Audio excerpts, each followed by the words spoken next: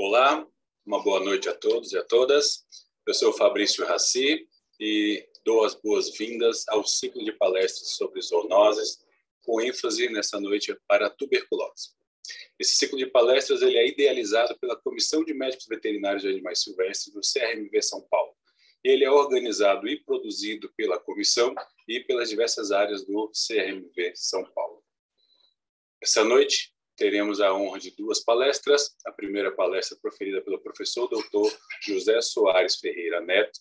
Ele é médico veterinário pela Universidade de São Paulo, USP, mestre em epidemiologia experimental aplicada às zoonoses, USP, doutor em patologia experimental e comparada pela USP, fez pós-doutorado na Europa em programas sanitários, Atualmente é professor titular e diretor da Faculdade de Medicina Veterinária e Isotecnia da USP, consultor científico do Ministério da Agricultura, Pecuária e Abastecimento, o MAPA, para vários programas nacionais, coordenador do Centro Colaborador em Saúde de Animais Terrestres e Aquáticos, é consultor ad hoc da FAPESP, CNPq e de várias outras instituições de fomento e também de inúmeras revistas científicas.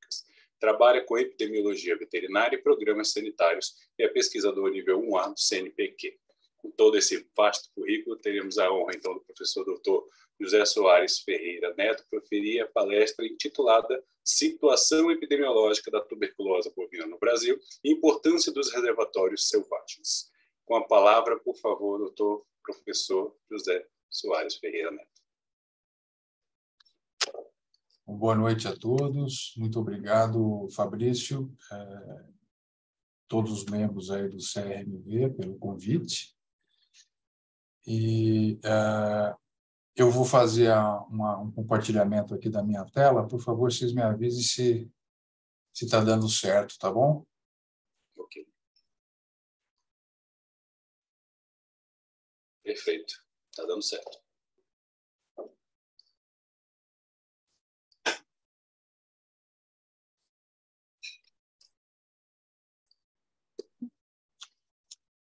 Ok, gente. Bom, o, o, tema proposto foi esse aqui que vocês estão vendo, projetado, né? Situação epidemiológica da tuberculose bovina no Brasil. É, isso nós vamos falar lá no final, tá? Mas o, o, a, import, o, a cereja do bolo aqui é essa, esse subtítulo, né? A importância dos, dos reservatórios é, selvagens. É, Para a gente entender um pouquinho melhor essa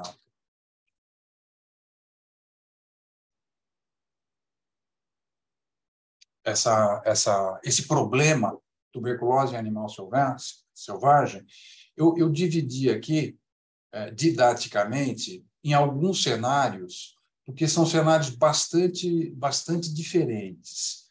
Então, primeiro nós vamos ver o que, que significa a tuberculose em animais selvagens de vida livre, esse é mundo completamente separado. Depois nós vamos ver um pouquinho de tuberculose em animais selvagens de vida em cativeiro.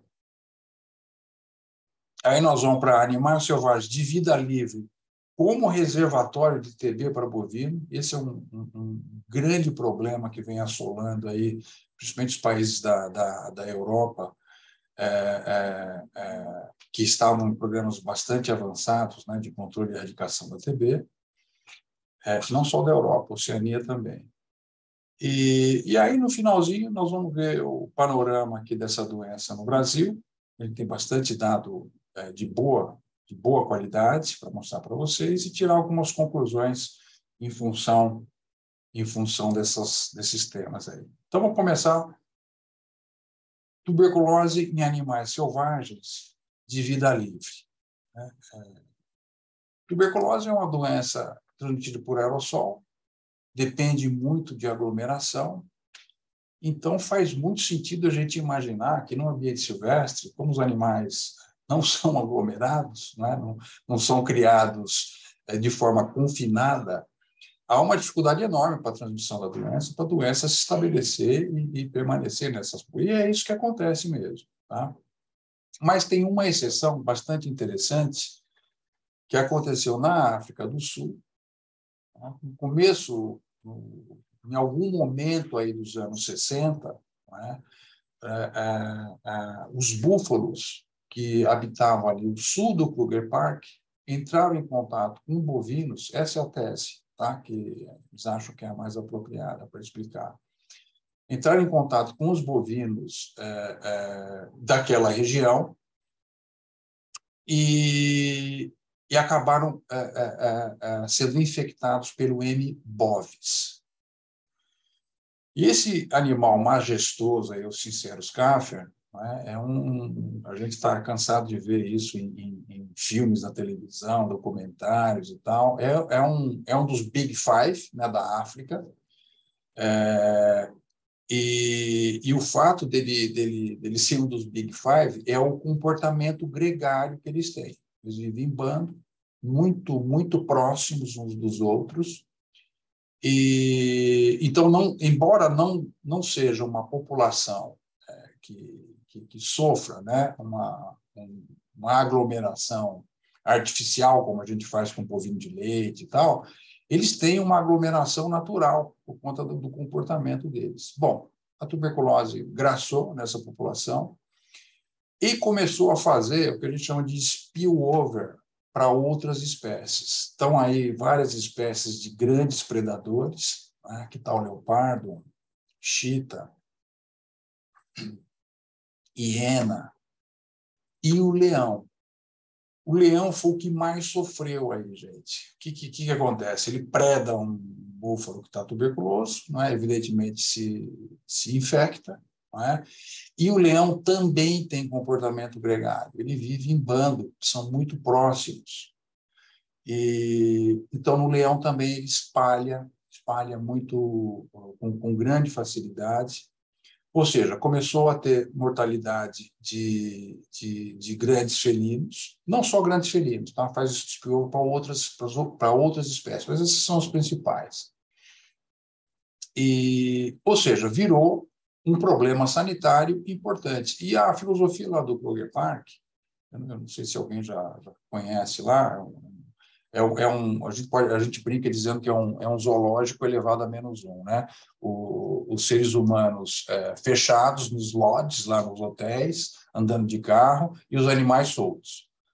E, e então é uma experiência fascinante, muito bacana, mas a, a, a, o Kruger Park é mais ou menos o tamanho de Portugal é enorme, está localizado aí na região é, é, nordeste do, do, da África do Sul, divisa ali com Moçambique, e, e, a, e a filosofia de intervenção deles é mínima. Né? Eles, só, eles só fazem alguma intervenção nos animais se for absolutamente necessário. Então, lá, a, a, doenças a, graçam endemicamente.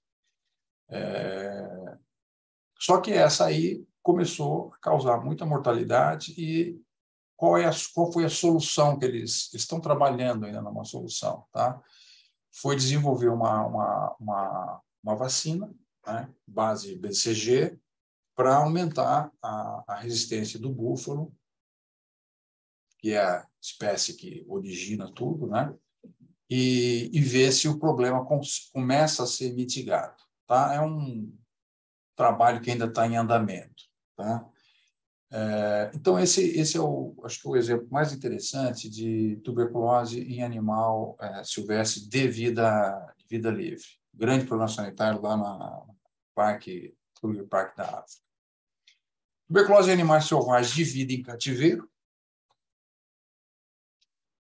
De, em vida em cativeiro, gente, já não é mais o Bovis. Tá? O grande vilão aí é o M. tuberculosis e o Marcos Vinícius vai, vai, vai conversar com vocês logo depois.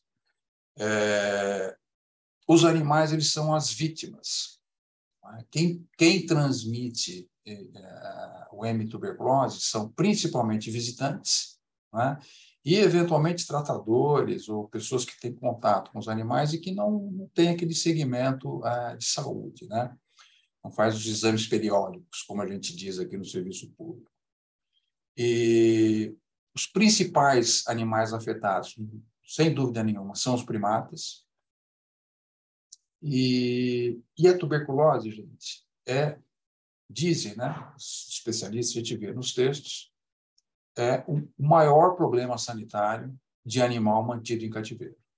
Então, tem países que têm protocolos bastante exigentes em relação a isso, são sempre os mesmos, né? Europa e América do, e América do Norte, e a maioria é, é muito frouxo, não tem, não tem legislação, não tem regulação, não tem nenhuma iniciativa para mitigar esse problema. É, a, esse, a esse propósito, quem se interessar, né, tem, um, tem um livro que a gente escreveu aqui com uma orientada minha, com a Tatiana, Tuberculose em Primatas, que fala um pouquinho dessa, dessa história toda, né, da importância da tuberculose em animal cativo. Embora uh, o título uh, contenha primatas, que é o principal espécie acometida, eu falo um pouco, um pouco desse cenário que eu acabo de descrever para vocês. Quem tiver é, interesse, é só baixar aqui na, nesse portal de livros da USP. É, aqui é um outro, um outro título de exemplo também, né? um outro, uma outra situação que a gente viu, aqui já por M, um, um, um, foco né? de Mycobacterium bovis em, em é, cervídeos e lhamas num, num, zoológico aqui do Brasil. A gente não pode nem falar o nome do, do zoológico, porque isso dá um problema danado. Tá? Mas numa, numa instituição que mantinha, mantinha animais cativos, né? a gente viu um foco é, nessas duas espécies aí, por é, é M, M. bovis. Tá? E a gente acabou de isolar ontem, né? ontem a gente viu isolamento de M tuberculose também num papagaio. Tá? Então a gente é, é, isola é, pontualmente, geralmente M tuberculose, tuberculose que é o homem passando para o animal, o animal é praticamente o, o hospedeiro final aí, uma vítima, né? É, em animais cativos. Animais selvagens de vida livre é, como reservatório de TB para bovino, isso, esse é um capítulo todo à parte. Né? Esse é um, um, Deixa eu fechar uma janelinha aqui. É, esse é o grande problema é, atual né, para animal de produção. E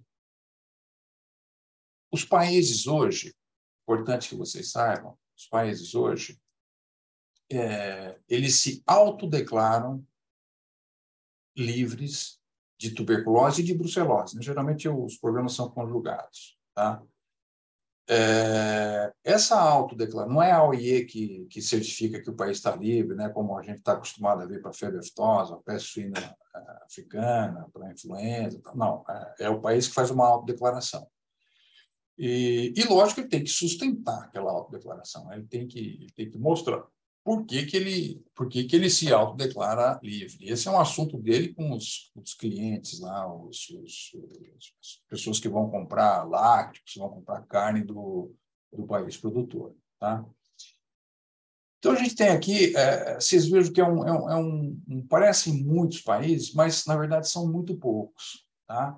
É, a gente tem um grupo aqui de livre com TB sem registro de caso há muitos anos nós temos fora todos esses países aqui da Europa, ó, Holanda, Suécia, até Eslováquia, tá? dois países só fora da Europa, Austrália e Canadá. Aí vocês vão perguntar, pô, mas os Estados Unidos, né? Os Estados Unidos costumam ter um standard sanitário muito elevado tal.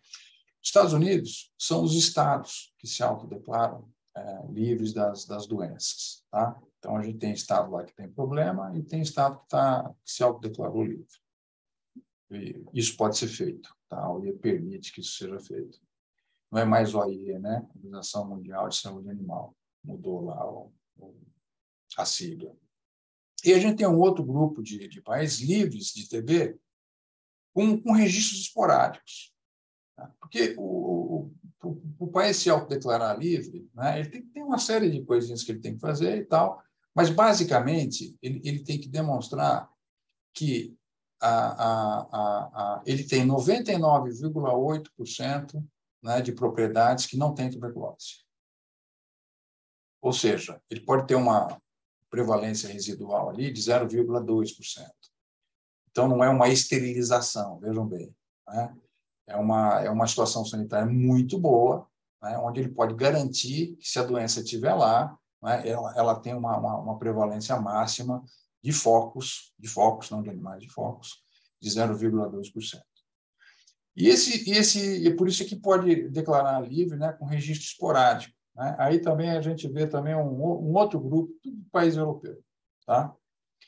O resto dos países é, ou, ou, ou, são tem assim declaração de livre por, por zona, né, como os Estados Unidos, que eu acabei de relatar para vocês, ou tem níveis de controle muito, muito variados né, e, e, e bons, ruins, aí tem de tudo, tá certo?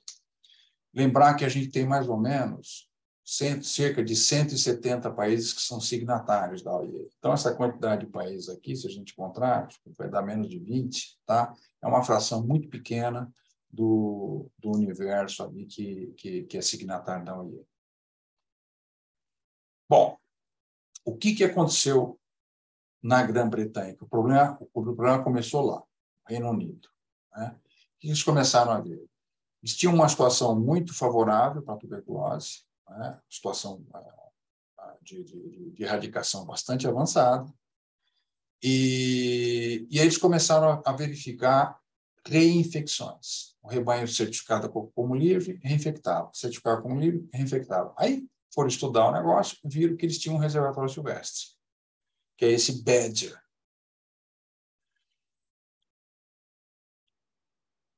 Quem que é esse Badger? Esse animalzinho aqui, ó. A gente chama de texugo né? o nome científico dele é Melis melis, altamente suscetível à tuberculose. Ele vive em tocas, é? aqui é um, é um caminho dele na pastagem, é? então ele coabita no mesmo ambiente que o bovino, tá? só que vive em tocas e tal. É, vivendo em tocas, né? se o animal já é suscetível, vivendo em toca, aglomeração e tal, transmite muito muito facilmente para bovino. Bovino é um, é um animal curioso, né? tem várias fotos né?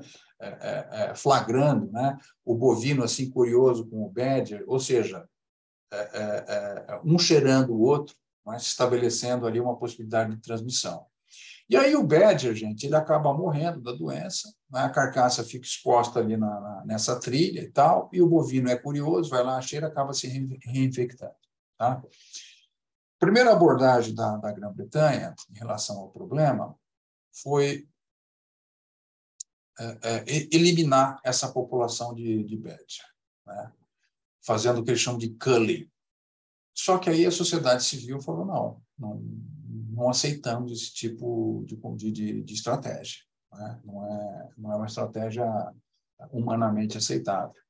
Então, eles estão tentando resolver o problema através de vacina estão desenvolvendo vacina tanto para o Badger, estão pensando em voltar, voltar não, estão pensando em, em começar a vacinar bovinos, que é uma, vai ser uma experiência inédita para todo mundo, né?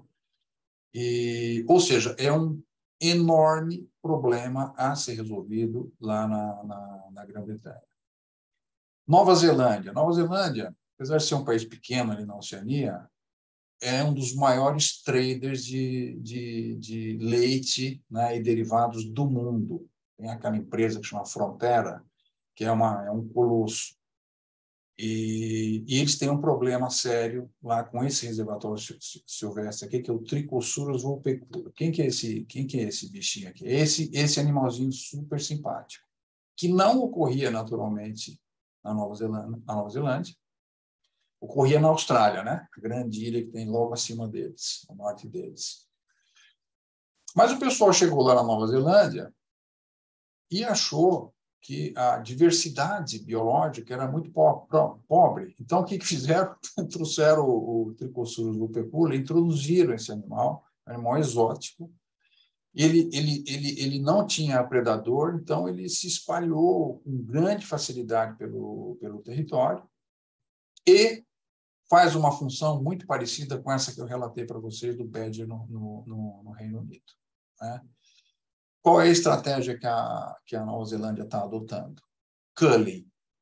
Eles estão eliminando a espécie baseado na justificativa que é uma espécie, não é uma espécie autóctone, é uma espécie que foi introduzida artificialmente. Tá? A população aceita isso, fazem isso, a gente pode criticar, pode pensar diferente, tal, mas é o que eles estão fazendo. E aí nós tivemos aqui na, na, na, na ainda na Nova Zelândia, dois outros reservatórios servidos de porco selvagem, mas com uma importância muito, muito menor. Né? Na Europa, tivemos alguns relatos de porco selvagem cervídeo, mas assim não impactando de maneira muito significativa o, o combate à doença. E, e nos Estados Unidos, bisão e cervídeos. Então a gente tem alguns estados que são que, que, que, que têm né, parques naturais é, é, onde tem uma população de bisão que está infectada. Então, esse, esses estados têm problema, aquelas propriedades que são vizinhas, limítrofes aos, ao, aos parques. Né? É, aqui, então,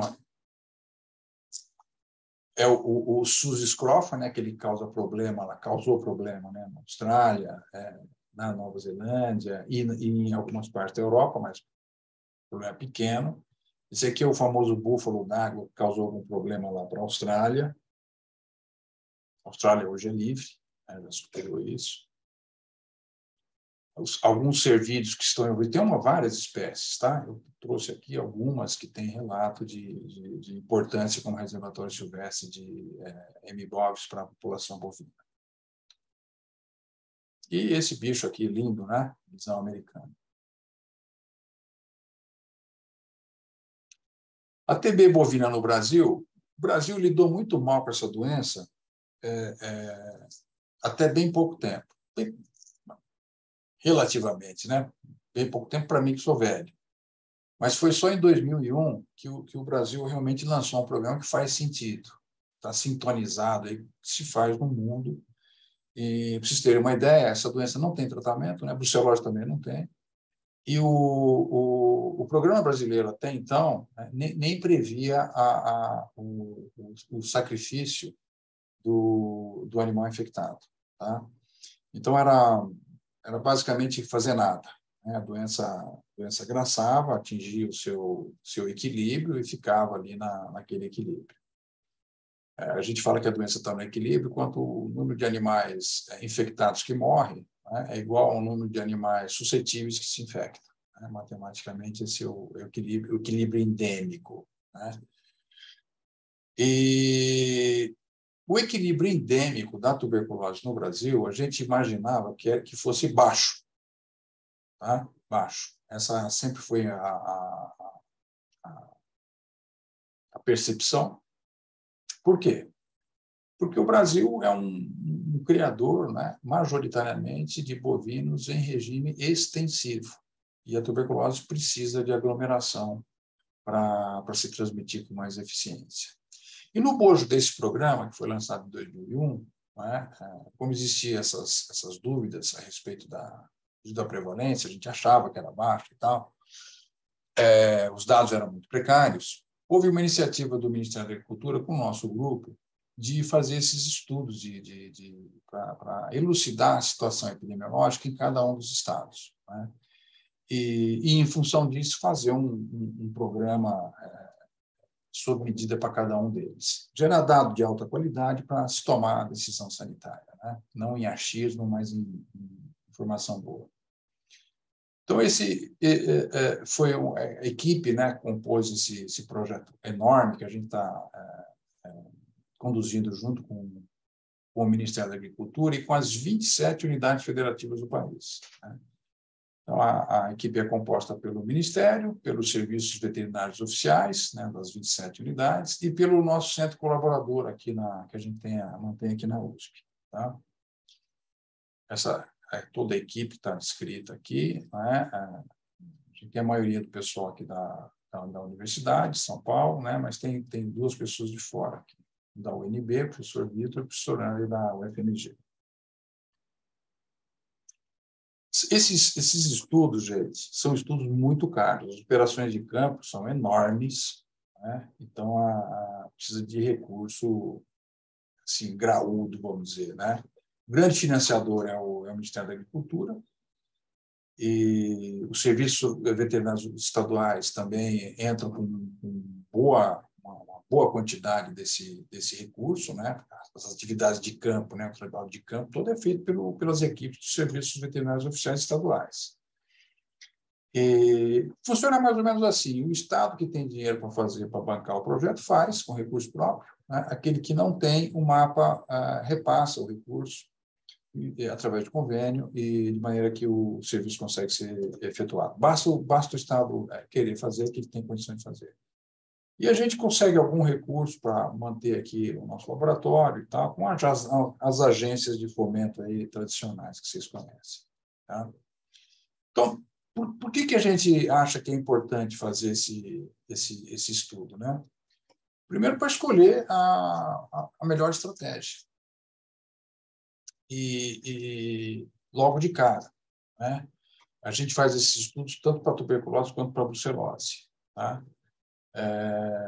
Então, dependendo da situação é, da doença, você vai é, se valer de algumas, algumas é, estratégias. Né? E eu vou voltar a esse escolher as melhores estratégias no, no, nesse segundo elemento aqui, né? Por que fazer? Acompanhar o andamento do programa.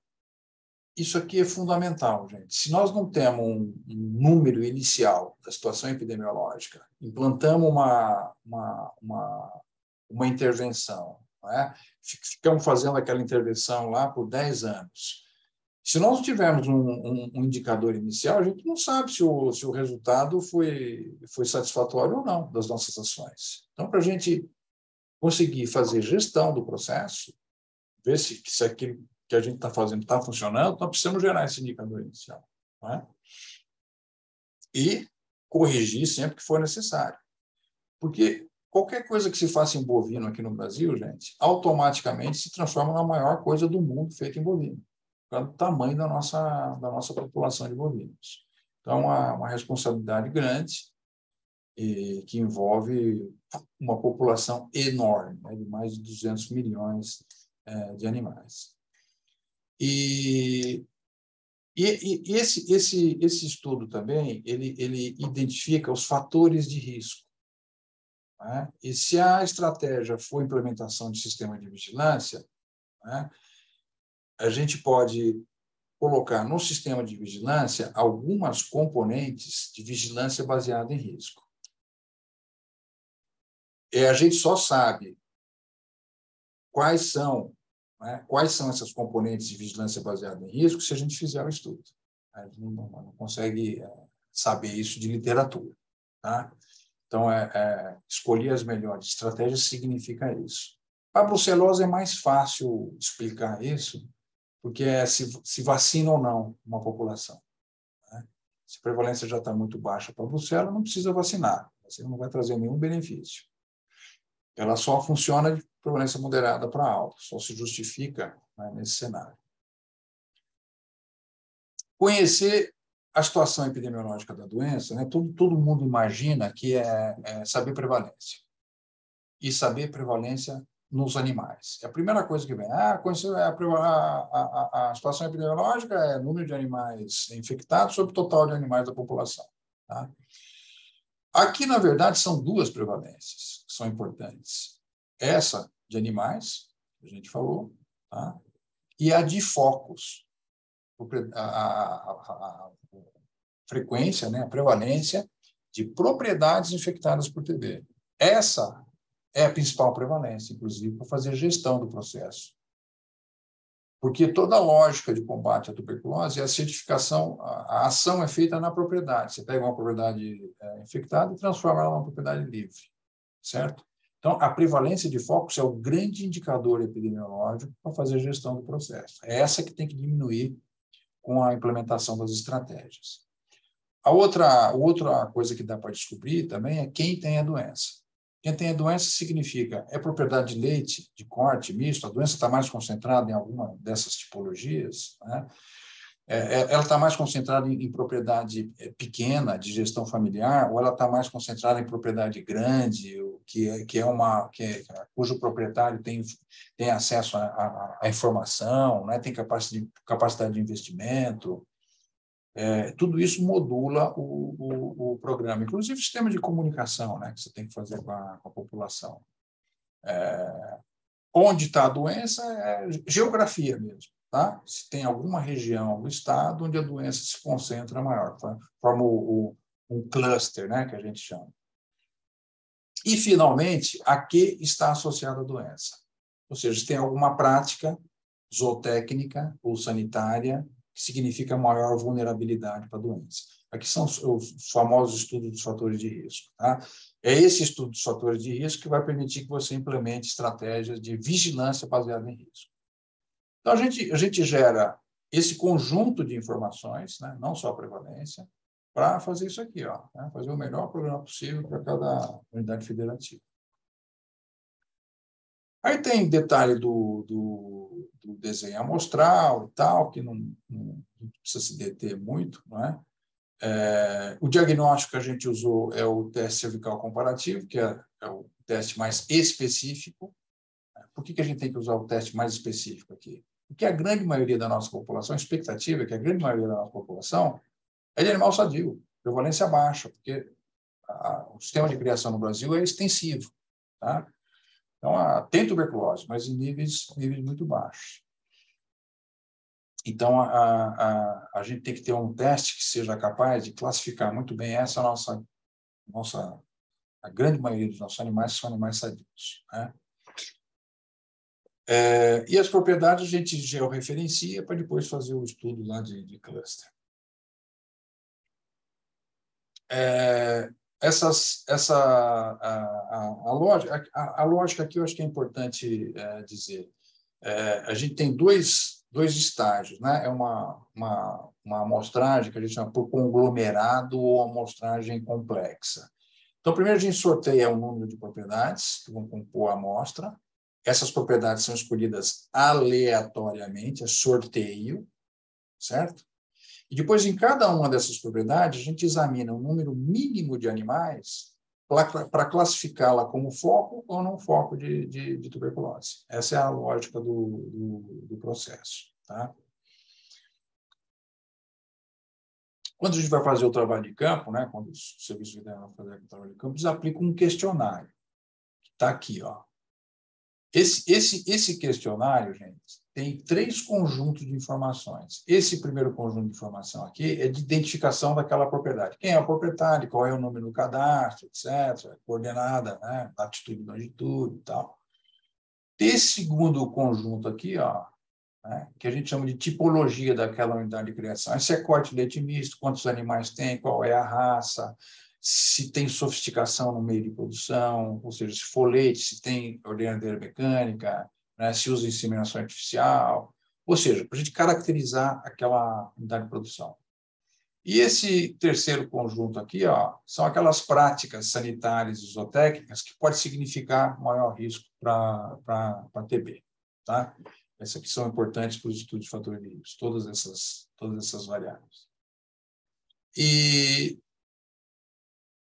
Doutor José Soares, 10 minutos ah, ok, já estou concluindo, tá? É, e aqui o resultado dos testes. Importante. Nesses estudos, gente, a gente faz essa pergunta aqui, ó. Aliás, essas duas. Essa aqui para outras espécies domésticas presentes, ou seja, se a gente tem problema, né, se a condição de foco está associada a algum reservatório doméstico. A gente estava muito interessado nisso aqui, ó, cão, principalmente. Tá? E essa aqui que é a cereja do bolo para o tema de hoje, né? Espécies silvestres e vida leva na, na, na, propriedade. Se não tem, se tem cervídeos, capivaras, ferídeos, a gente colocou todos, todas aquelas espécies né, correlatas, né?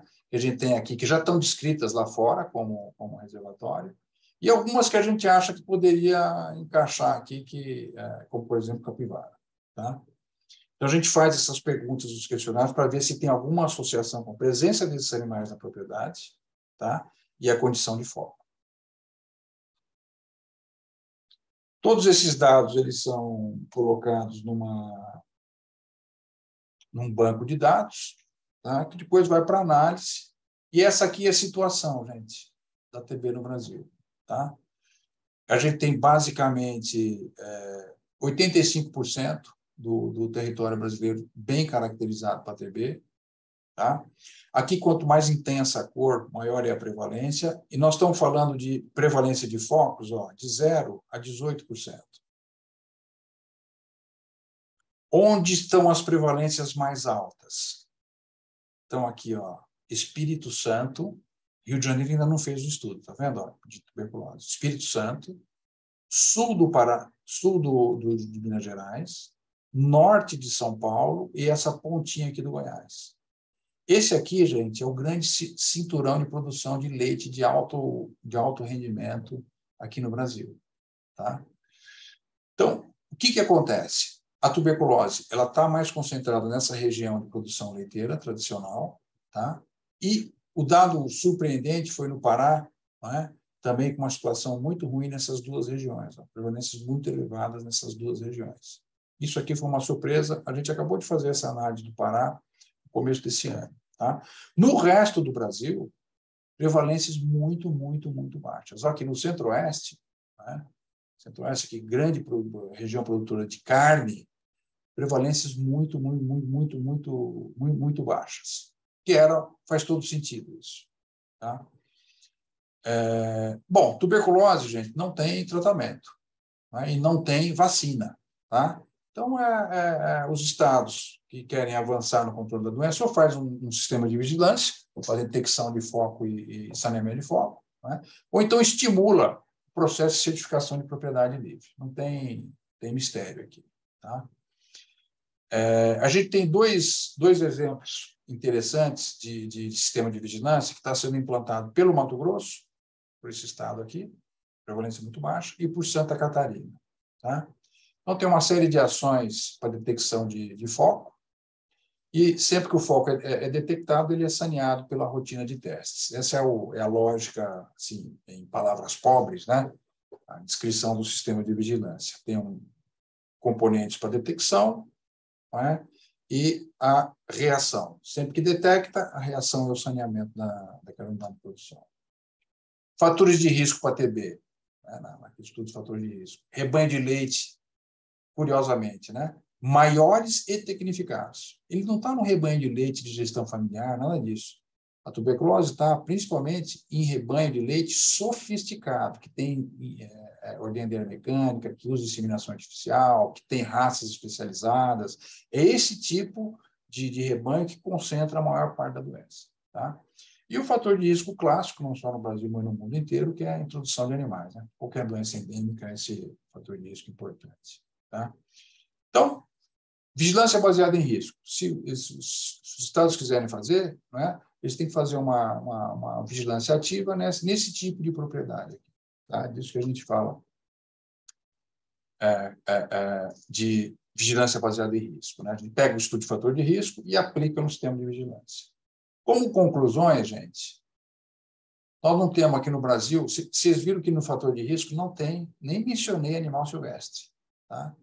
Então, por enquanto, nós não temos nenhuma evidência aqui, por enquanto. Tá? Pode ser que é, surja mais na frente. Mas, por enquanto, não tem nenhuma evidência né, de importância de animais selvagens de vida livre atuarem como reservatório para a tuberculose de, da população bovina é, é, de produção. Tá? É, esse estudo permitiu definir estratégia é, a partir de dados de alta qualidade, né?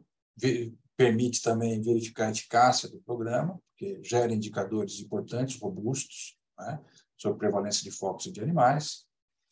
E os estados já incorporaram isso na, na, nas suas rotinas. Né? No começo era muito difícil, eles não entendiam a, a lógica do, do, do, das amostras e tal, porque o nosso sistema veterinário oficial é aftoso, né? a gente costuma dizer, é, gira muito em torno da aftose. Então, essa é uma rotina diferente, nova, doença é, diferente da ferroaftose, evidentemente. Então, requer uma abordagem também única. É, quem se interessar, gente, é, nós, nós, nós publicamos o, o, a Semina, que é uma boa revista nacional, ela, a, muito elegantemente, né, ela disponibilizou um, um, um suplemento, todo ele dedicado a um conjunto de dados aqui que a gente gerou publicamos em 2016. Então, esses, todos os estudos de prevalência de tuberculose no Brasil estão publicados nesse, nesse suplemento aqui de 2016, são 37 artigos no todo, boa parte deles com, com TB. E tem um recente aqui, do, do ano passado, né, que é, é, é, o segundo estudo de TB feito no, no Paraná, tá, que foi, foi publicado nessa, nessa revista aqui, internacional, Tropical Animal Health and Production. É, era isso, agradeço a atenção de vocês e estou aqui à disposição para eventuais perguntas. Muito obrigado, professor José Soares, ótima apresentação. Temos algumas perguntas, vou dar andamento aqui à leitura, aí o senhor já pode, eu vou fazer a leitura de uma a uma, aí o senhor já vai é, respondendo em seguida, tá? A Elia perguntou o seguinte, seria possível realizar estudos semelhantes nos plantéis de fauna silvestre mantidos em cativeiro? Você diz em animais é, de zoológico? É isso, ou, ou zoológico, ou criadouros, é, mantidos sob cuidados humanos. É, o, o, aí tem um problema sério, sempre que a gente pensa em, em, em, em fazer estudo com animal silvestre, é qual teste nós vamos usar.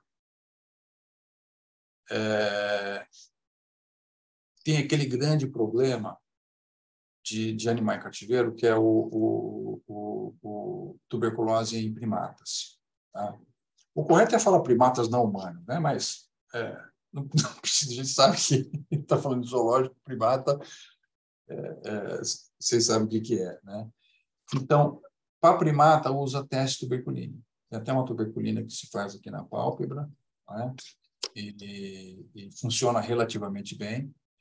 É, tem outros testes que são, estão sendo testados aí para a tuberculose com, com a, uma tecnologia, o mesmo, a, mesma tecnologia para detecção de gravidez em, em, em mulheres, né? mas não tem uma performance muito boa. Então, é, essa, essa, a, quando a gente pensa em qualquer estudo né, de, de, de, de, de grande envergadura, estudo populacional em animais silvestres, a gente esbarra nesse problema do diagnóstico. Tá?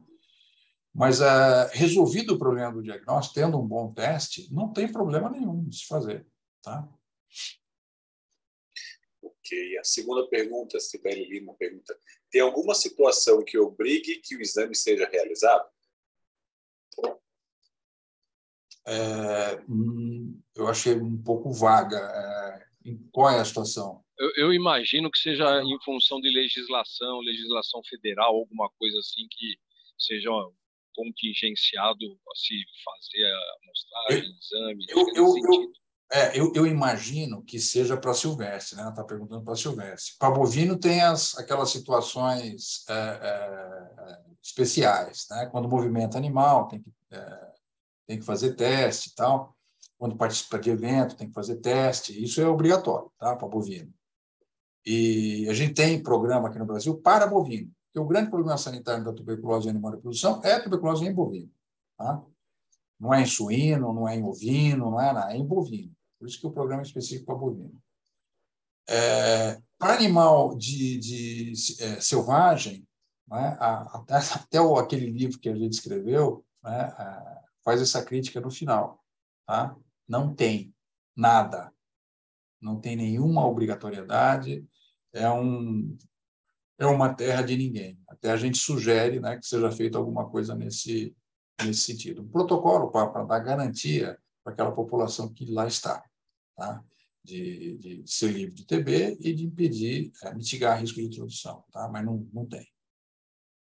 Não, não que eu saiba, pelo menos. Tá? Animal silvestre, eu creio também que, tem, que cai de novo nessa questão de qual exame realizar pela diversidade de espécies. Né? É, sim. Fazer o monitoramento se não há uma padronização no teste. Mas para a primata, Fabrício, que é o grande problema, né? os, o, a, a, os países aí que têm alguma iniciativa, sou, essa iniciativa é muito focada em primata, porque é o, é o principal problema. Tá? É, é, mas o Brasil não nem para primata tem, tem nada. Mais uma pergunta do Cláudio. Ele pergunta qual seria a causa da prevalência alta de focos de TB no estado do Pará? Boa. É, essa, essa é o, a pergunta de um milhão de dólares. o, conversando com. Porque quando a gente faz esses estudos, a gente conversa muito com as pessoas que conhecem o, o, o Estado. É?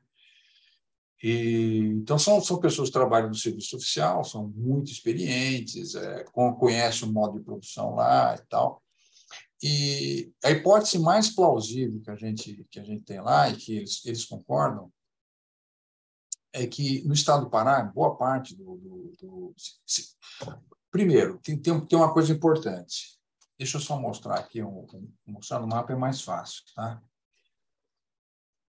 A maioria do gado do Pará, digo assim, mais de 50%, está aqui, ó, nessa área de baixa prevalência. E aqui que está a pecuária mais organizada no Pará. Tá?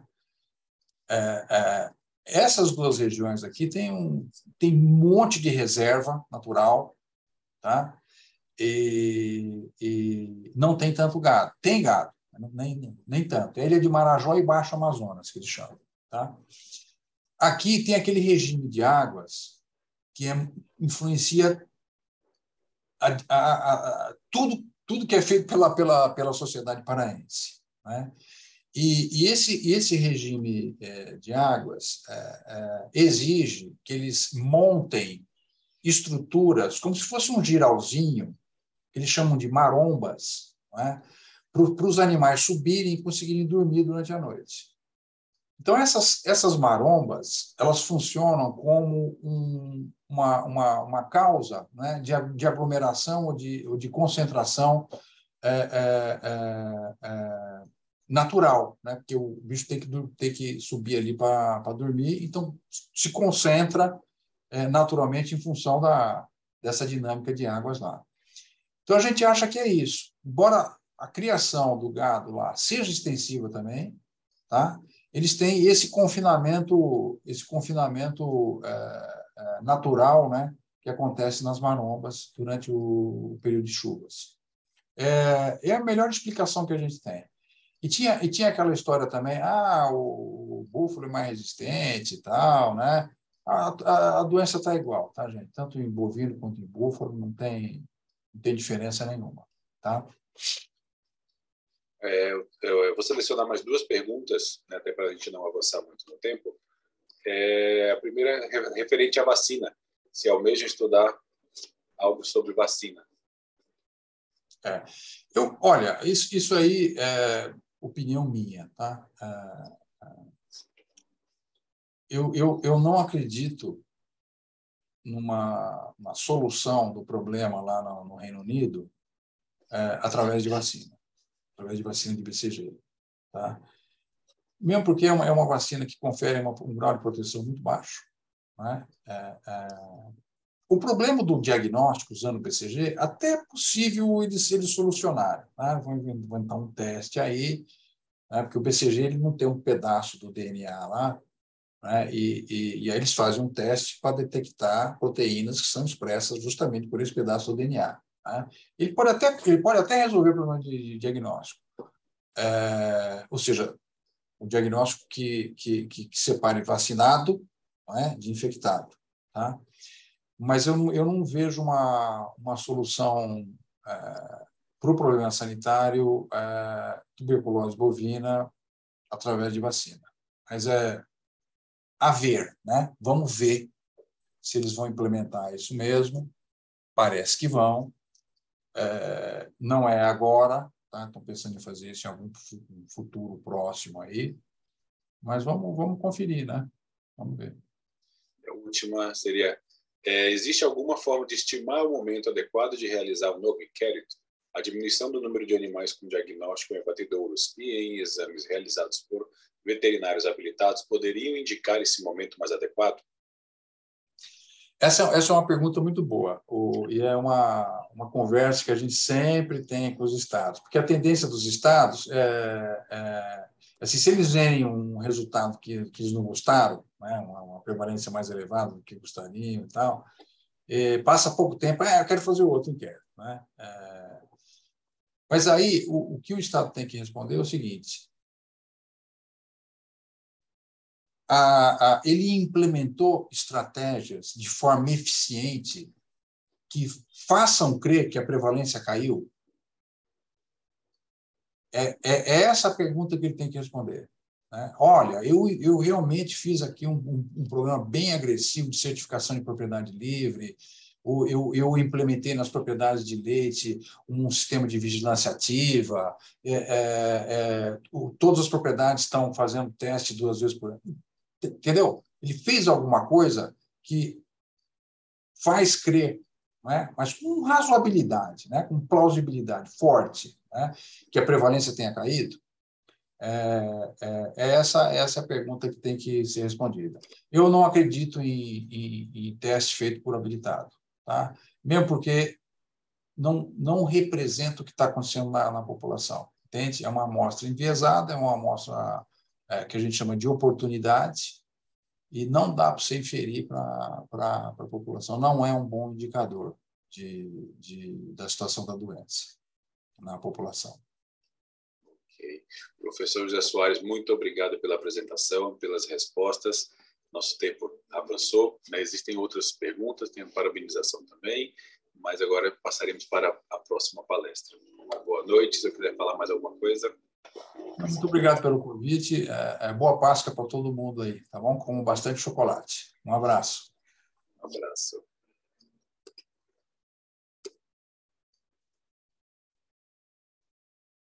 Dando continuidade, passaremos agora para o segundo palestrante, professor doutor Marcos Vinícius da Silva, possui graduação em Medicina pela Universidade de Mogi das Cruzes, mestrado em Medicina, Medicina Preventiva pela Universidade de São Paulo, doutorado em Medicina, foco em doenças infecciosas parasitárias pela Universidade de São Paulo. Atualmente é médico assistente do Instituto de Infectologia Emílio Ribas, consultor do Ministério de Saúde, da Saúde, professor associado do Departamento de Medicina da Pontífice Universidade Católica de São Paulo, professor do Programa de Pós-Graduação em Ciências da Coordenadoria de Controle de Doenças da Secretaria de Saúde do Estado de São Paulo, membro do Grupo de Pesquisa Equidade em Saúde, PUC São Paulo, certificado pelo CNPq. Tem experiência na área de medicina, com ênfase em doenças infecciosas e parasitárias, atuando principalmente nos diversos temas, entre eles doenças infecciosas e parasitárias, doenças tropicais, doenças emergentes e reemergentes, zoonoses, é, imunodiagnóstico, epidemiologia, vacina e medicina do viajante. Dessa forma, o professor doutor Marcos Vinícius da Silva convido para é, ministrar a palestra intitulada Panorama da Tuberculose Reemergente. Com a palavra, professor doutor Marcos Vinícius. Boa noite, muito obrigado pelo convite. É um prazer a gente estar aqui com vocês e vamos começar a mostrar um pouco do que é a nossa realidade do dia a dia. Tá, tá visível? Tudo ok, visível e na escuta. Então vamos lá.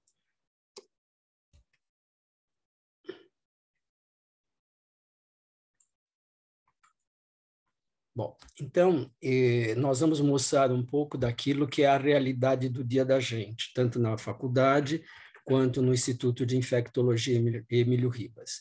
Então, lembrando que a tuberculose é uma das enfermidades mais antigas e conhecidas do mundo e nunca deixou de ser um grave problema de saúde pública. Uh, a tuberculose no mundo, ela compromete 2 milhões de pessoas infectadas e 8 milhões adoecerão. 2 milhões morrerão a cada ano, então é um número muito grande.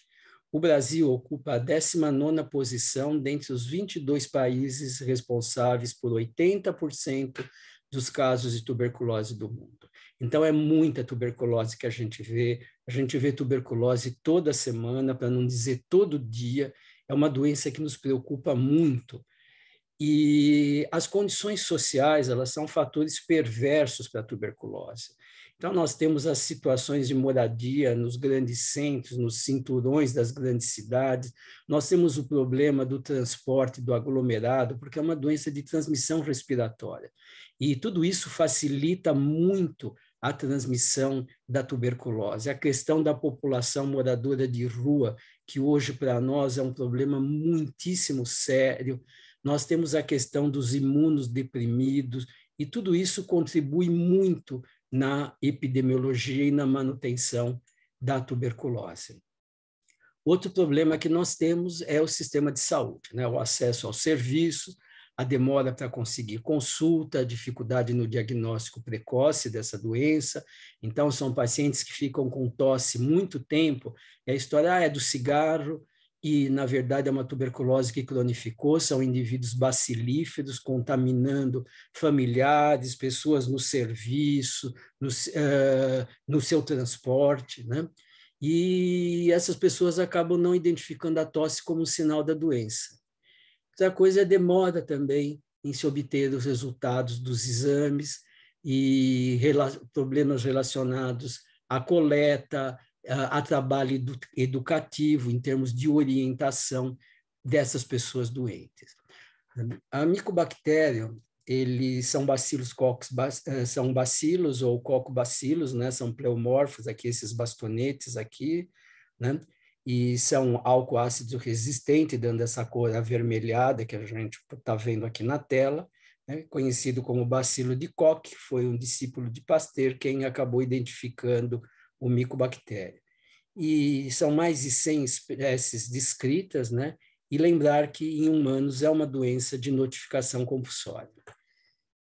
Nós temos os micobactérios patogênicos para o homem e o complexo micobactéria é o, uh, o complexo micobactéria tuberculose é onde nós temos essas espécies. Né? Então, a, a tuberculose, o micobactério tuberculose, que é o principal para o ser humano, o Bovis ele deixou de ser importante uh, para o ser humano depois da pasteurização do leite, né?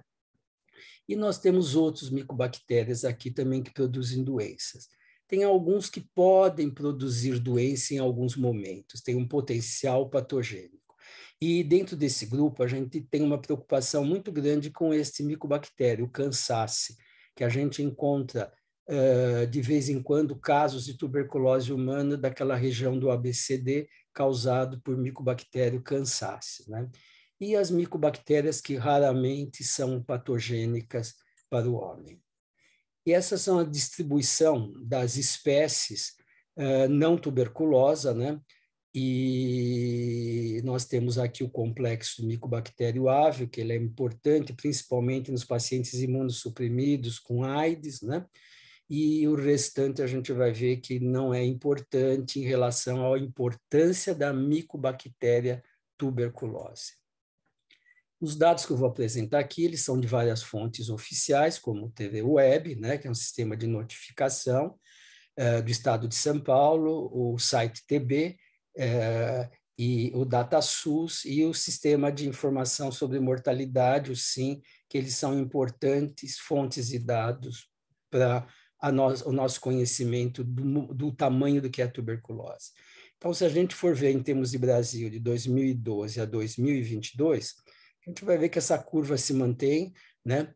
Uh, esse, esse coeficiente por 100 mil habitantes, ele é alto, né? E ele não cai durante esse tempo, e o número de casos é também bastante alto né, da tuberculose no nosso meio.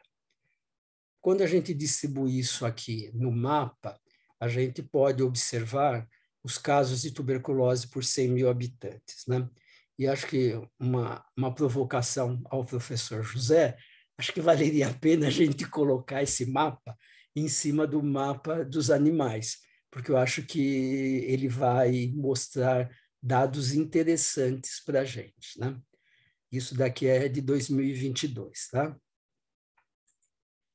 O número de casos novos aqui é município de São Paulo. E município de São Paulo, que surpreende a gente, é esse crescente aqui do número de casos né, e do coeficiente de incidência.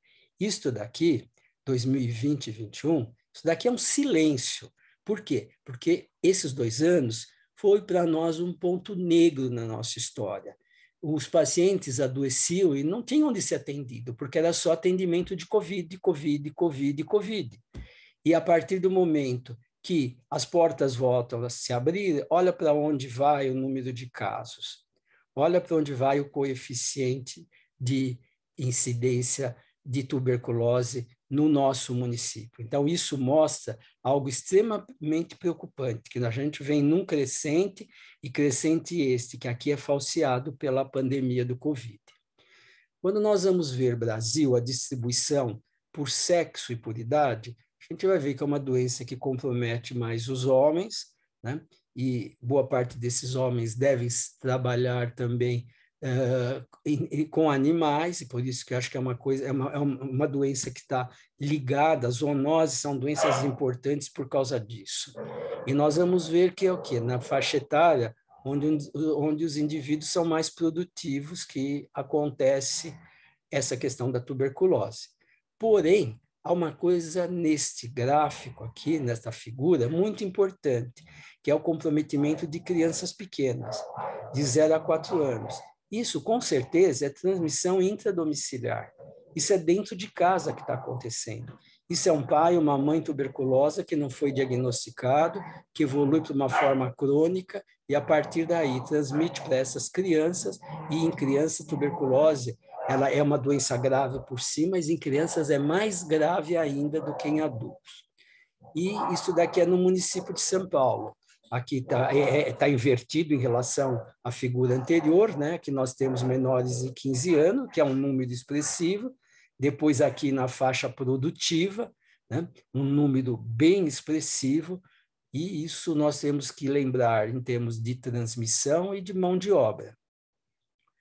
A mortalidade por tuberculose, ela também é alta. Se nós formos ver aqui o número de óbitos por 100 mil habitantes, olha o número expressivo que nós temos aqui de óbitos, certo? Desculpa, aqui é o coeficiente de mortalidade por 100 mil habitantes, aqui em cima, e aqui o número de óbitos. Veja como isto é enorme em termos de Brasil. Ainda morre muita gente de tuberculose. Né? E aqui a mortalidade. A mortalidade ela reproduz aquele mapa anterior, né? E parece que aparece algumas coisas semelhantes para o professor José aqui Pará, né? Mato Grosso aqui do Sul, certo? Aqui uma região do Rio de Janeiro, indo para o Espírito Santo, Rio Grande do Sul, enfim, eu acho que tem coisas bem curiosas nesses mapas. E aqui é o número de óbitos por tuberculose, coeficiente de mortalidade né, no município de São Paulo, que a gente vai ver ainda morre muita gente no município de São Paulo por causa da tuberculose. Então, aqui é a proporção dos casos novos de tuberculose na segunda faixa etária, dentro dos menores de 15 anos. E por que, que eu quis mostrar isso? Para mostrar a fatia importante que é a tuberculose nessa, nessa faixa etária nos menores de 15 anos. E ressaltando aqui de novo a questão de 0 a 4 anos. É muita tuberculose em criança, ou seja, é muita tuberculose transmitida dentro de casa. Aqui é uma outra situação que nos preocupa muito, que são as populações vulneráveis. Então, nós temos aqui esta curva aqui grande, elevada. Isso daqui são populações privadas de liberdade. Presídio é um problema muito grande para a gente em termos de transmissão e de manutenção da tuberculose, inclusive de tuberculose multidroga resistente. Né? Depois, uma outra população que nos preocupa é a população de rua, e ela vem num crescente, né? e os profissionais da saúde, que é mais ou menos estável, os, a questão dos imigrantes, este é um problema muito sério, muitos deles são mantidos em confecções, em locais de trabalhos fechados, um aglomerado, e facilita a transmissão. E de indígenas aqui em verde, que tem uma manutenção desses dados. Quando nós pegamos aqui né, uh, uma coisa que preocupa muito, chamado desfechos, o que, que nós vamos ver? Nós vamos ver que nós temos aqui população privada de liberdade, onde se controla o tratamento, se dá medicação, um percentual de cura elevado. Porém, temos ainda um número de óbitos, né, que é elevado também por tuberculose. Uh, e uh, as populações que vivem em condições de rua, esta então a gente não tem controle uh, eficaz Por quê? Porque são nômades. É difícil, mesmo você com todo o sistema hoje de consultório de rua, é difícil você controlar, é difícil, mesmo com a supervisão, esses indivíduos tomarem a medicação. Então, isso é um problema, porque se tornam crônicos, certo? E esses crônicos vão disseminar a doença. Os imigrantes, a gente vê que é um outro problema, e aqui a população da saúde indígena menos preocupante quando comparado com essas populações, não que deixa de ser eh, preocupante. Aqui é uma outra situação, que é a situação tuberculose e AIDS. Então, se nós formos ver a co-infecção tuberculose e AIDS, ela mantém este parâmetro aqui, um basal, mantendo essa, essa infecção né? Por quê? Porque são pacientes que geralmente estão em centro de referência de tratamento para AIDS, se diagnostica precocemente, se trata, se acompanha, tem critérios de cura, completam esses critérios de cura, então a gente mantém um maior controle. Porém, é um problema bastante sério nos imunodeprimidos. E o encerramento de casos novos de tuberculose com co-infecção HIV, né? Então, isso de 2011 a 2021, onde nós vamos ver a cura aqui, isso preocupa porque a gente está percebendo aqui um declínio, né? A interrupção de tratamento, ela aumenta, isso é preocupante, né? E o caso de óbito, ele vem se mantendo aqui numa constante, num número expressivo.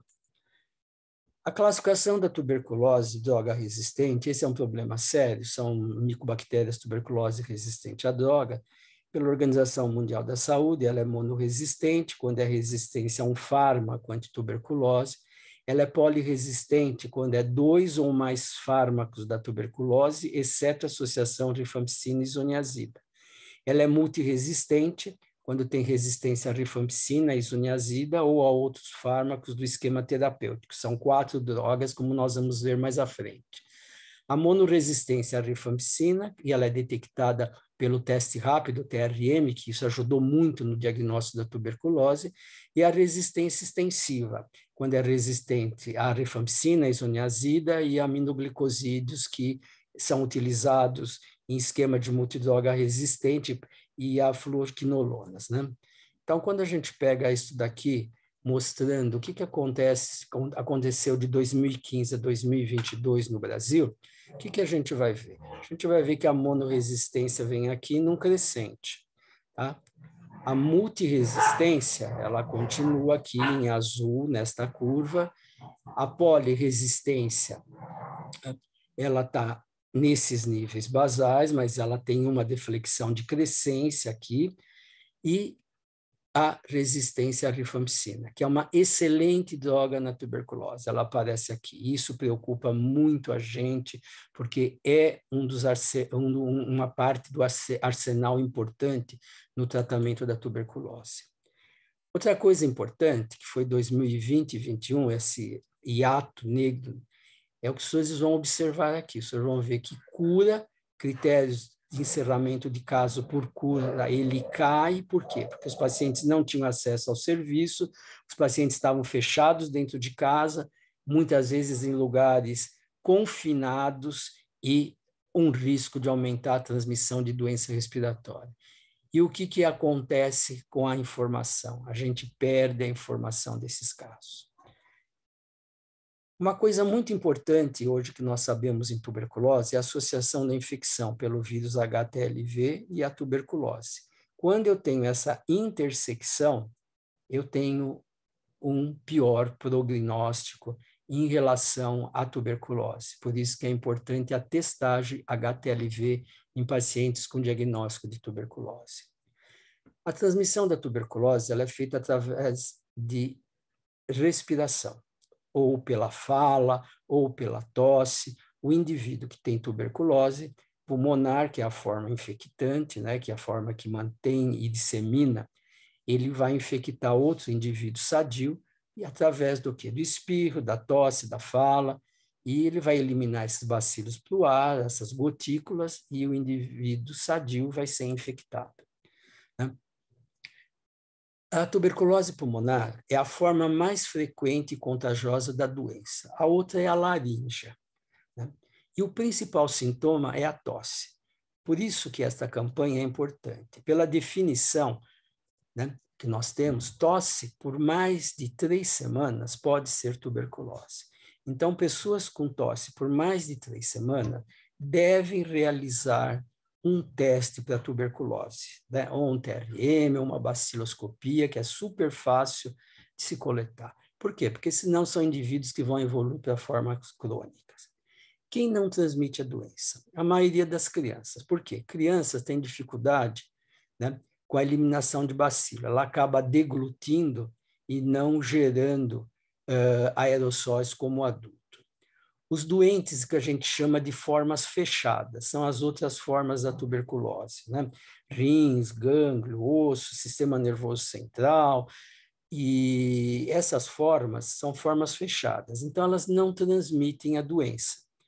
E os doentes em tratamento regular, esse tratamento é efetivo e as quatro drogas utilizadas são a rifampicina, a isoniazida, a pirazinamida e o etambutol. Isto se utiliza na primeira fase do tratamento.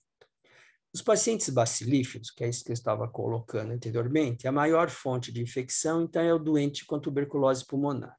Ele elimina muitos bacilos pela tosse e ele pode infectar de 10 a 15 pessoas por ano se ele não for tratado. Né? Quando o indivíduo tem contato com o bacilo da tuberculose, alguns não se infectam, ou, desculpa, quando, quando, pelo contato, alguns não se infectam. Né? Tem uma defesa imunológica e ela resolve a situação. Quando ocorre a infecção, na maioria dos indivíduos, ela fica como uma infecção, o próprio sistema imune resolve, né? Nós vamos ter um adoecimento de 10%. Então, esse número de pacientes que eu mostrei, isso é a parte do iceberg que está à tona d'água. Os 90% que estão abaixo da tona, de, da, eh, da, do nível da água, né? Ele é, são pacientes o quê? Que só que sofreram infecção, né? E, e, e, e muitas vezes se resolve por aí. O mecanismo de defesa local ele é muito importante. A partir do momento que o bacilo entra pela árvore respiratória, nós vamos ter o quê? Ele atinge o alvéolo e no alvéolo ele tem uma replicação e a primeira defesa que o organismo eh, solicita são os macrófagos. E a partir daí nós vamos formar o quê? Um granuloma, um granuloma que, dependendo da resposta imune do indivíduo, ele pode bloquear no local e resolver no local, certo? Outros indivíduos uh, têm a formação de uma lesão? E uma lesão essa que pode evoluir, né? formando um granuloma, e granuloma esse que vai abrir num brônquio fonte, e a partir daí eliminar o bacilo pela respiração, pelas vias respiratórias, pela tosse, começar a formar as cavernas. No imunocompetente, geralmente é nesse ápice, Alessandro. Então, quais são os sintomas da tuberculose? Tosse com ou sem escarro, né? Por mais que três semanas, febre baixa, geralmente à tarde, acompanhada de sudorese, suores noturno, falta de apetite, perda de peso, cansaço, em alguns casos a hemoptise, que é o sangramento das vias respiratórias, a dor no peito, né? E também pode atingir qualquer parte do corpo, pode comprometer eh, gânglios linfáticos, pode comprometer a pleura, pode comprometer os rins, né? sistema urinário, bexiga, hepático, comprometer o fígado, intestino, pele, ossos, enfim, toda estrutura orgânica pode ser comprometida. Então, mostrando para os senhores aqui, esse é um acervo nosso de pacientes que a gente atendeu, infiltrado intersticial bilateral, né, tuberculoso aqui, Aqui a gente já vai ver escavações, olha, além do infiltrado, formando uma pneumonia lobar, já com escavação. Então, são formas diferentes radiológicas da doença. Aqui são formas ganglionares, gânglios infartados. Aqui o gânglio já fistulizou, né? Esta é uma tuberculose cutânea. Olha o capricho do local. Isso é o diagnóstico por biópsia. A tuberculose uh, testicular, uh, de epidídimo, uma epididimite tuberculosa, levando à formação de uma fístula com drenagem de secreção purulenta. Este é um caso muito interessante. Esse é um caso lá da faculdade que nos chamaram para ver um paciente com uma suspeita de linfogranuloma venéreo. Quando nós chegamos para examinar o paciente, a gente percebeu que isso daqui não era um gânglio, isso daqui era, era um abscesso. E esse abscesso era um abscesso profundo. Esse abscesso ele foi drenado, esse paciente foi avaliado, ele tinha comprometimento pulmonar bilateral, é um paciente imunocompetente, não é um paciente imunodeficiente. Que às vezes a gente acha que só a imunodeficiência que tem esse comprometimento. Então, ele já tinha um comprometimento pulmonar aqui importante, bilateral, que vocês estão vendo aqui, pulmão direito, pulmão esquerdo, né? com áreas né, de consolidação alveolar, e a coluna com este comprometimento aqui, toda corroída, quase desabando, ele formou dois abscessos importantes em cavidade peritoneal que caminhou tentando drenar para a região inguinal. É um rapaz jovem, né, ainda está em acompanhamento no nosso ambulatório, e mostrando a importância da tuberculose. Estes são casos de pacientes imunodeprimidos, esses são casos de pacientes com AIDS. Então, esse rapaz era um rapaz que trabalhava num hotel, era recepcionista, e começou a apresentar esse gânglio infartado aqui, e é por isso que, quando se faz o diagnóstico de TB, se convida o paciente a fazer um teste para HIV, por causa da associação da tuberculose com HIV. E aí foi feito o diagnóstico de AIDS no paciente, abrindo o quadro com a tuberculose, que é muito frequente no nosso meio. Aqui é um outro paciente com AIDS, uma forma ganglionar, olha, vários gânglios. Esse outro rapaz, além do gânglio, toda essa celulite aqui causada pela tuberculose, a necrose não só do gânglio, como de toda a pele, a tuberculose ocular, levando à perda do olho, né? E são formas graves da tuberculose. Esse é outro problema. Isso aqui é um esôfago. Isso é uma fístula. Isso é uma fístula do mediastino para o esôfago é um gânglio tuberculoso de mediastino que vai caminhando, esôfago não tem serose, é fácil de abrir e forma essa fístula. E isto é um problema. Né? Vocês estão vendo a fístula aqui, olha, aqui outra imagem da fístula. Por quê? Porque esse paciente ele vai ficar sem se alimentar. Qualquer alimento que entrar por aqui, até saliva, e for para o mediastino, vai causar uma mediastinite, que é um caso gravíssimo, com letalidade muito alta. E, isso, e esta fístula, mesmo depois do tratamento da tuberculose, muitas vezes ela não fecha. E aqui se tenta cola biológica, a cola biológica cai, isso daqui é um problema. E esse paciente, enquanto tem essa fístula aberta, é alimentação por sonda ou por gastrostomia, né? E muito difícil de tratar. Aqui são casos mais graves também, com formação de granuloma, de abscesso aqui no cérebro, quando o paciente faleceu, foi para a necrópsia, estava o abscesso aqui. Olha o tamanho desse granuloma, desse abscesso tuberculoso. Aqui é um fígado, todos esses pontinhos amarelos aqui são granulomas. Né? Todos esses pontinhos amarelos que aparecem aqui são granulomas. Aqui é um pulmão, forma crônica. Né? Granulomas importantes, indivíduo por muitos anos eliminando bacilo, contaminando as pessoas e acabou indo a óbito. O diagnóstico, ele é através da baciloscopia do escarro, de, com o escarro pesquisa direta, né, ou por métodos de concentração. A cultura é, tem tantos métodos convencionais, que demoram em torno de 30 dias, como métodos automatizados. Métodos moleculares, que ajudam muito, como o TRM, testes de suscetibilidade às drogas, que nos orientam em casos que começa a se perceber que não tem uma boa resposta terapêutica, e sempre a gente tem que, a primeira coisa que vê é a adesão. O paciente está tomando remédio? Está tomando o remédio certo? Então, isso é muito importante. E temos que estimular o paciente, principalmente, que quando ele começa a melhorar, ele acha que sarou. E a tuberculose leva vários meses para ser tratada. Então, precisamos deixar claro para o paciente que ele não sarou, que ele melhorou, mas que se ele parar de tomar medicação, a doença vai retornar. E pode retornar é, resistente às medicações. né, os testes de suscetibilidade às drogas e, importante, a identificação das espécies. Né? E o que, que é importante? A baciloscopia é um exame básico né, para o diagnóstico da tuberculose. Ele é de execução rápida e fácil, tem baixo custo, identifica a principal fonte de infecção, né, o doente bacilífero que é tratado, e permite ampla cobertura de diagnóstico e controle eficaz da tuberculose. Ele tem um limite de detecção, a partir de 10 a quarta bacilos por ml. Né? Então, ele tem uma baixa sensibilidade, por isso, que a cultura é importante. A cultura é muito mais sensível do que a baciloscopia. Às vezes, aqueles pacientes que têm poucos bacilos, que não aparecem na baciloscopia, vão positivar a cultura. Né? Então, para a detecção, né, e sempre o material, nesse caso, é escarro, né? para a detecção de um a dois bacilos no esfregaço, é necessário que a amostra contenha, no mínimo, 5 mil bacilos álcool ácido resistente por ml. Tá? E quais são os problemas que a gente pode encontrar?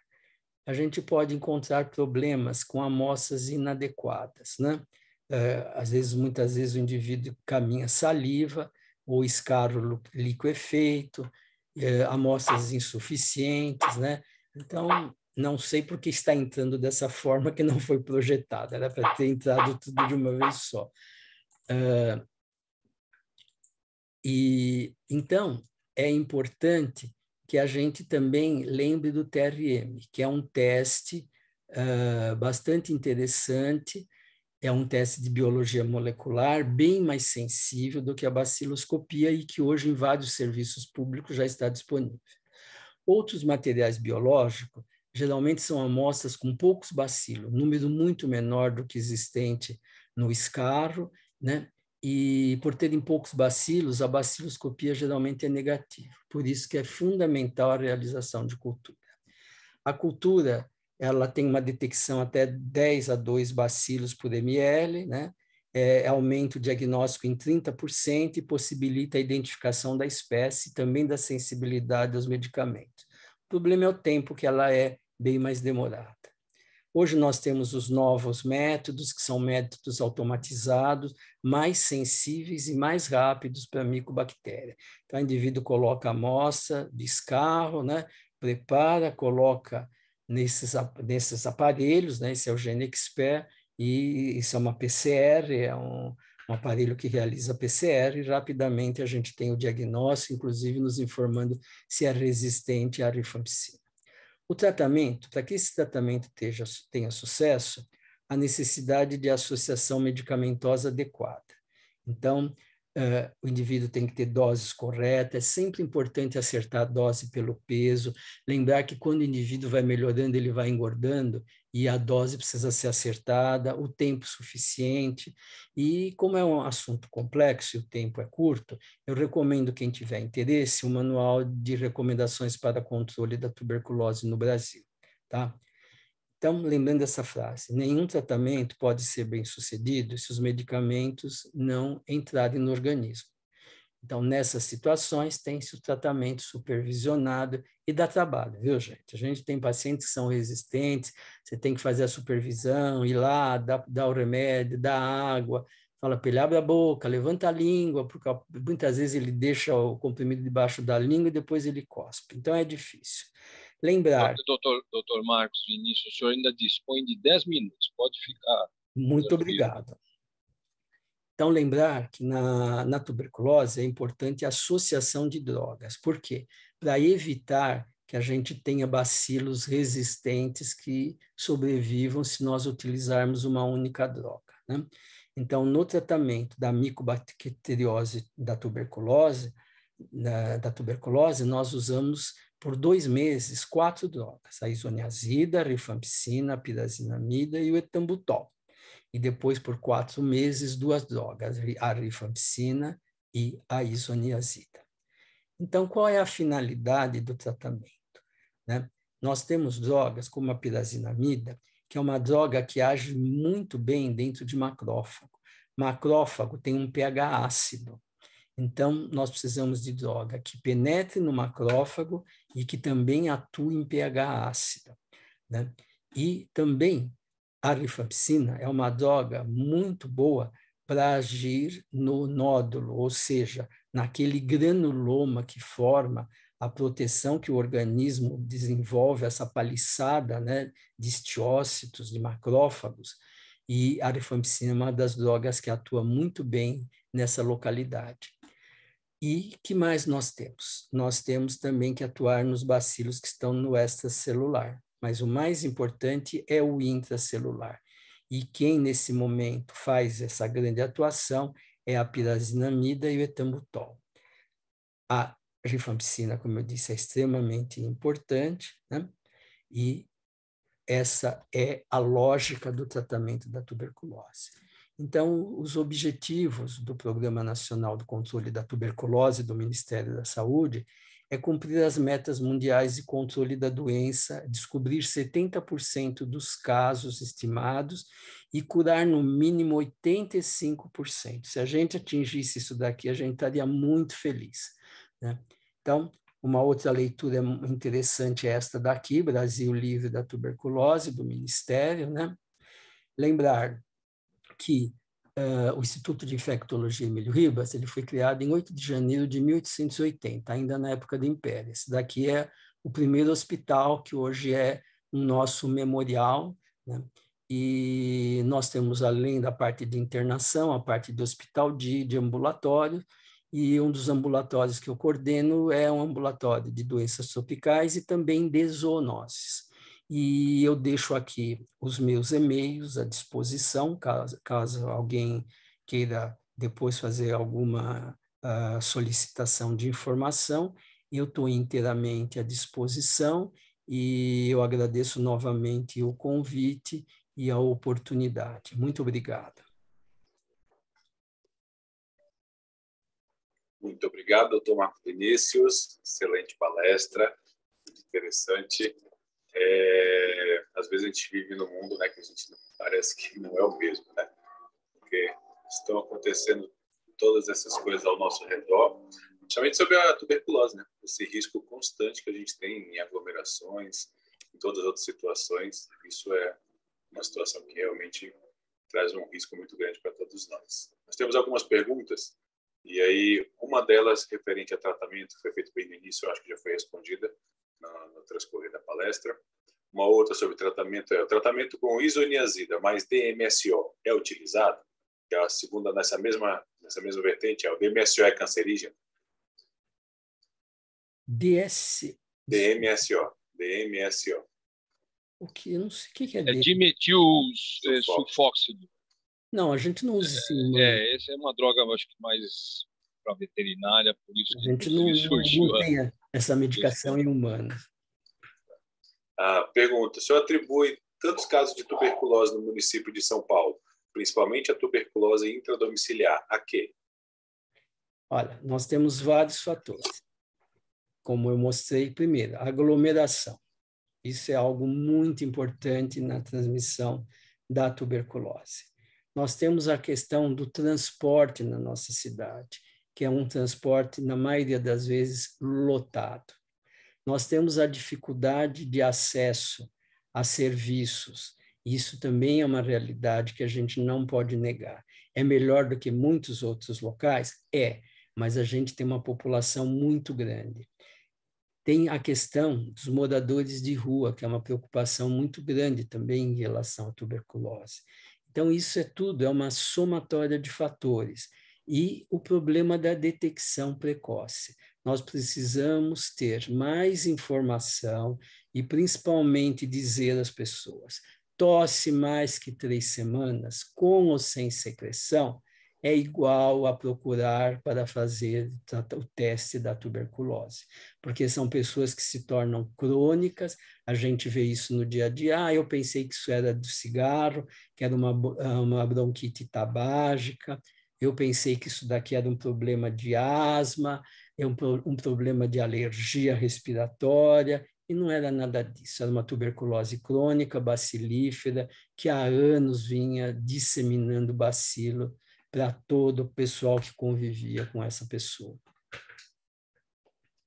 Dentro, dentro dessa, dessa ótica, doutor Marcos Vinícius, é, inclusive é uma, uma das perguntas que, que constam aí também, o senhor acha conveniente, né, nas aglomerações dos grandes centros, em particular, talvez transporte público e coisa e tal, se manter o uso de máscaras? Olha, eu acho que foi uma prática que, em algumas situações, ela veio para ficar. Agora, ela melhora muito, né? mas cabe lembrar que as máscaras cirúrgicas elas não têm uma eficácia alta para tuberculose. Né? As máscaras que nós usamos em hospital, que nós usamos em atendimento de tuberculoso, é a N95, que é uma máscara onde nós temos uma proteção maior em termos de filtragem. Ela diminui muito em termos de eliminação de secreção, porque a, a, a, a, a prática de quando tosse e espirrar conter com um lenço, ela não é muito frequente. Então, ela, ela pode ter impacto importante. Ela pode não, a máscara tem impacto importante nas doenças trans, uh, transmitidas através da respiração. Mas lembrar que o ideal para tuberculose é a N95. Tem mais uma pergunta. Existe obrigatoriedade de testagem em algum grupo profissional ou etário, por exemplo, idade escolar? Olha, uh, nos exames periódicos, uma das perguntas é se tem tosse. E se, tem, se isso o indivíduo refere que tem tosse, há quanto tempo? Se ele preenche o critério de mais que três semanas, sem dúvida que ele vai ser pesquisado como um potencial tuberculoso nos exames periódicos, essa é uma preocupação. É, doutor, eu acho que uh, essa pergunta, inclusive, foi eu quem fiz. Ela, o ponto maior é, é em relação a, a gente tentar ter uma, uma visão da, da, da fase silenciosa da tuberculose. Né? Então, lembro, décadas atrás, muitas empresas exigiam o, exame admissional, não sei se hoje ainda vigora, de teste de tuberculose, né? tuberculose negativa, o famoso raio-x de tórax. Eu não sei hoje em dia como é que está essa situação, se caso o senhor tenha alguma informação. A tuberculose é um problema tão importante e o senhor está, né? Eu lembro bem disso porque eu aprendi a, a ler raio-x por causa da tuberculose pela famosa biografia que era precisava da carteira de trabalho e a biografia junto, né, dizendo que o indivíduo não tinha tuberculose pulmonar pela dimensão do que é o problema. Hoje esse exame já ele não é um exame obrigatório, ele é um exame mandatório quando você tem sintoma. É fazer um raio-x, né? porque nós estamos lidando com irradiação. Né? Então, nos casos realmente que tem sintoma, ele é tanto investigado conforme o sintoma, tanto pela baciloscopia e muitas vezes acompanhado da radiologia. Uma última pergunta que tem aqui é: quando detectado caso de TB em humano, é feita a identificação de qual espécie de micobactéria causado causou? E tem-se ideia da prevalência de micobactéria bovis causando a doença em humanos? Uh, é, é identificado. O, MRTB, ele só identifica micobactéria tuberculose. As outras micobactérias são identificadas através da cultura. Por isso que quando a gente tem esse resultado negativo, a gente dá a, cultura continua em andamento, porque como eu disse, a gente tem casos como cansaço. Hoje, a micobactéria bovis é muito baixa em humano, né? E naquela curva que eu mostrei na distribuição das outras micobactérias, lá tem bem pequenininha da bovis. A bovis a gente não vê mais. A gente via bovis no passado, principalmente de tubo digestivo, tuberculose intestinal, né? E que no homem é o que ela causava, ou tuberculose intestinal ou ganglionar, raramente pulmonar. E com a pasteurização, praticamente em humanos, ela desapareceu. E lembrar que Mycobacteria bovis, quando a gente tem suspeita, a gente tem que, acho que o professor pode complementar o que eu estou falando, uh, a necessidade de avisar o laboratório, porque a dificuldade do crescimento em Lowenstein Jensen, que é o método, é o meio de cultura usado para Mycobacteria tuberculose, ela tem dificuldade de crescer, o Bovis. Então, o laboratório precisa lançar mão de outros meios de cultura para isolamento. Tanto que quando se tem uma suspeita que é muito rara, é raríssimo, não é raro, a gente sempre avisa o laboratório por causa dessa questão do isolamento. Né? E hoje, com a PCR, tudo isso fica muito mais fácil, com a metagenômica que está aí também. Acredito que em breve essas respostas serão muito mais precisas e muito mais rápidas. Maravilha.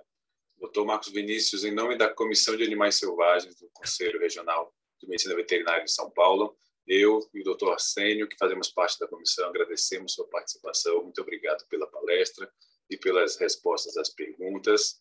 E agradecemos a participação de todos. Como dito pelo chat, né, certificados serão enviados via e-mail para os participantes e automaticamente na entrada da palestra né, foi registrada sua presença. Dessa forma, encerramos nesse momento a apresentação e fiquem atentos né, no site da, do Conselho Regional de Medicina Veterinária de São Paulo, que em breve teremos outras palestras. Uma boa noite